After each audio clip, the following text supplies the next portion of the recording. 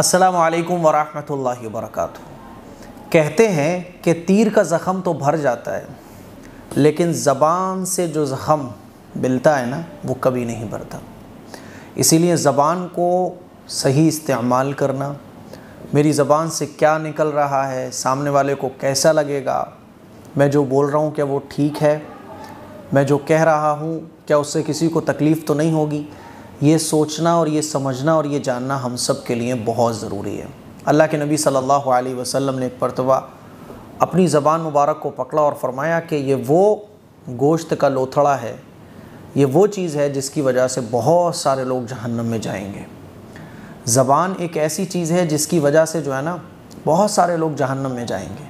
ज़बान का सही इस्तेमाल, मुनासिब अल्फाज का इंतखब करना ये बहुत ज़रूरी है। हम लोग जो है ना दिल में किसी के लिए मोहब्बत रखते हैं और हमारी वो इंटेंशन नहीं होती, हमारा वो कोई इरादा नहीं होता कि सामने वाले को तकलीफ़ पहुँचे। लेकिन हमें बोलने का सलीका नहीं पता बोलने का सलीका नहीं आता। हम मुनासिब अल्फाज इस्तेमाल नहीं करते। तो सामने वाला हमारी अच्छी चीज़ों को भी बुरा समझता है। बज़ दफ़ा हम किसी को तकलीफ़ देना नहीं चाहते, लेकिन हमारी ज़बान से वो चीज़ निकलती इस तरह से है कि सामने वाले को हार्ट हो जाता है। इसीलिए मुनासिब अल्फाज का इंतखब करना ये नबी सलाम की सुन्नत है। अब कैसे मुनासिब अल्फाज? तो मैं आपको थोड़ा सा हिंट देता हूँ। सारे तरीक़े तो मैं आपको नहीं सिखा सकता, लेकिन एक थोड़ा सा इशारा देता हूँ कि आप कैसे अपनी बात को अच्छे अंदाज में सामने वाले से कह सकते हो।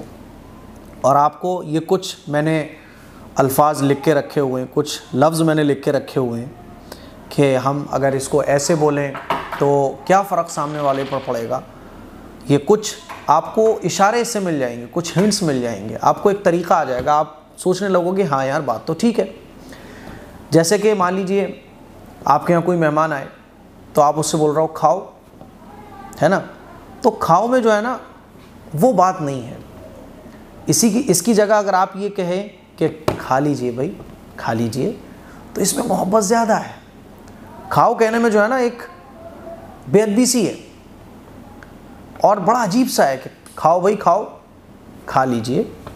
ख़ास तौर पर जब कोई हमारे बड़े, हमसे उम्र में बड़े हों, हमारे रिश्तेदार हों, अज़ीज़, अकारब हों तो खा लीजिए। खाओ की जगह आपको क्या बोलना है? खा लीजिए। देखो तो बोलने में टाइम वही खर्च हो रहा है। जितनी देर में आप खाओ बोल रहे हो, उतनी देर में आप खा लीजिए भी बोल सकते हो। दूसरा है, क्यों आए हो? क्यों आए हो? तो इसमें क्या है? कि सामने वाले को लग सकता है क्या यार आदमी है यार, ये तो बड़ा तकबर में आ गया क्यों आए हो? तो ऐसे लगेगा, हो सकता है कि शायद मेरा आना इनको पसंद नहीं आया। तो और अगर आपने इसकी जगह ये बोला, कैसे तशरीफ़ लाए भाई? देखो, सामने वाले को आंसर देने में कोई तकल्लुफ़ नहीं होगा। उसको बुरा भी नहीं लगेगा। और अगर कोई आपका रिश्तेदार आया, आपने पूछा, भाई, क्यों आए हो? वो सोचेगा, यार, शायद मेरा आना इनको अच्छा नहीं लगा। और उसको दिल को, उसके दिल को तकलीफ़ पहुँचेगी। हालाँकि आपकी इंटेंशन वो नहीं है। लेकिन आपने अल्फाज का सही इंतखब नहीं किया, है ना? आपने अल्फाज का चुनाव ठीक नहीं किया तो आपकी इंटेंशन वो नहीं है, लेकिन आपकी ज़बान से जो निकल रहा है वो सामने वाले को हर्ट कर सकता है। आजकल अगर मैं ये कहूँ कि हमारे माशरे में जो आपस के लड़ाई, झगड़े गलत फहमियों की जो सबसे बड़ी वजह है, वो यही है कि मुनासिब अल्फाज का इंतखब हम लोग नहीं करते। ये सबसे बड़ी वजह है। इसीलिए सीखिए बोलना। तो क्यों आए हो? इसकी जगह आप कह सकते हैं, कैसे तशरीफ़ लाए? कैसे तशरीफ़ लाना हुआ भाई? तो सामने वाला खुश हो जाएगा, यार। मोहब्बत में पूछ रहे हैं। और वो आपको बताएगा, उसको बुरा नहीं लगेगा। इसी तरह से अंधा, कोई अगर किसी की बीनाई नहीं है, किसी की आँखों की रोशनी जा चुकी तो आप बोल रहे हो, यार, वो अंधा है। उसकी जगह आप बोल सकते हो कि वो नाबीना है। तो देखो, कितना फ़र्क हो गया। बात वही है, लेकिन थोड़ा सा अल्फाजों को चेंज करने से कितना बड़ा फ़र्क आ गया। वो नाबीना है। अब नाबीना भी सुनेगा ना तो उसको हर्ट नहीं होगा और उससे आपको अंधे हो तो उसको कितना बुरा लगेगा। इसी तरह से बूढ़ा, बूढ़े की जगह कह सकते हैं बुज़ुर्ग। भाई, बड़े बुज़ुर्ग आदमी हैं। एक बुज़ुर्ग आदमी को मैंने सड़क पर बैठे हुए देखा, है ना? और आप बोलो, बूढ़े, बहुत बूढ़े हैं वो। तो अच्छा नहीं लग रहा ना, बुज़ुर्ग। तो बूढ़े की जगह बुज़ुर्ग। इसी तरह से किसी किसी का इंतकाल हो गया। तो एक तो ये है कि भाई, वो मर गया। इसकी जगह आप कह सकते हैं भाई, फ़लाँ का इंतकाल हो गया। देखो, कितना बड़ा फ़र्क आ गया। ज़मीन आसमान का फ़र्क आ गया कि नहीं आ गया? भाई, फ़लाँ का इंतकाल हो गया। इसमें उसकी इज़्ज़त, उसका एहतराम, उसकी रेस्पेक्ट ज़्यादा है। इसी तरह से मुसीबत में पड़ गया। मान लीजिए आप बोल रहे हैं, यार, वो मुसीबत में पड़ गया। उसकी जगह आप कह सकते हैं, आजमाइश में आ गया कि भाई, उसके ऊपर अल्लाह की आजमाइश आ गई। मेरा फ़ैसला ये है। कभी बात चल रही होती है तो हम कहते हैं, मेरा फ़ैसला भाई ये है।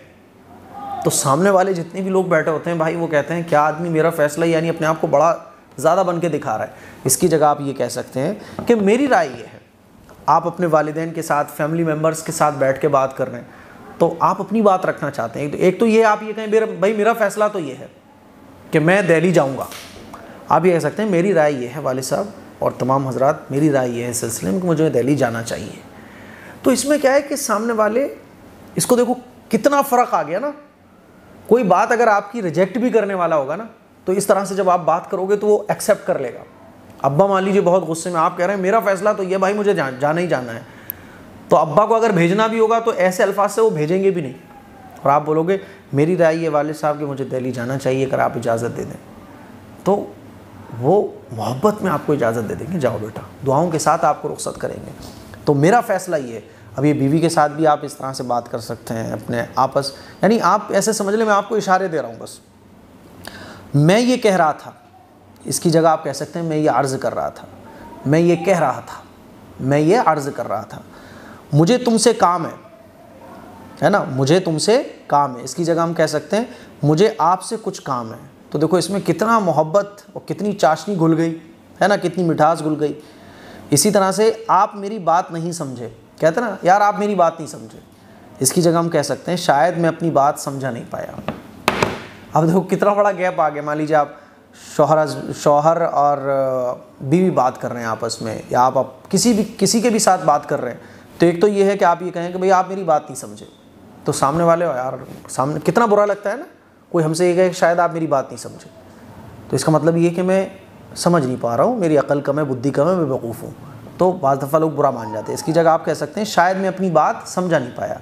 कि भाई, शायद मैं अपनी बात समझा नहीं पाया, देखो दोबारा रिपीट करता हूँ। सामने वाला चार गया, दस बार भी सुन लेगा आपकी बात, इस तरह से आप बोलोगे। इसी तरह से आप गलत कह रहे हैं। कहते हैं ना हम लोग, आप गलत कह रहे हैं। तो ये अच्छा तरीक़ा नहीं है। इसकी जगह आप कह सकते हैं, मेरी नाक़स राय के मुताबिक या मेरे इल्म के मुताबिक बात यूँ है। है ना? आप कह सकते हैं। मान लीजिए सामने वाला कह रहा है कि बात तो आया, यार दरअसल ये थी। तो आप कह रहे, आप कहना ये चाहते हो, भाई आप जो कह रहे हो, गलत कह रहे हो। इसकी जगह आप कह सकते हो, मेरी नाकस राय के मुताबिक दरअसल हकीकत में बात यूँ है। तो इससे क्या है, सामने वाले को बुरा नहीं लगेगा। ये मैंने चंद अल्फाज आपके सामने रखे हैं, जिससे आप एक मोटा मोटा अंदाज़ा लगा सकते हैं कि मुनासिब अल्फाज का इंतखब कितना ज़रूरी है। हस्बैंड वाइफ के बीच में रिश्ते मज़बूत होते हैं, मुनासिब अल्फाज। दोस्तियाँ मज़बूत होती हैं जब मुनाफे, मुनासिब अल्फाज इस्तेमाल किए जाते हैं। यानी जितनी भी रिश्तेदारियाँ हैं ना, उनके अंदर मोहब्बत बढ़ जाती है, वो रिश्ते अटूट हो जाते हैं, मज़बूत हो जाते हैं, जब मुनासिब अल्फाज को इस्तेमाल किया जाता है। इस क्लिप को शेयर करें, दूसरों तक पहुँचाएँ। अल्लाम वरहमल वर्क